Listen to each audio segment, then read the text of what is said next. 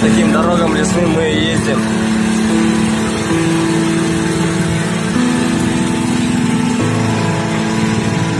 Но это еще хорошая дорога.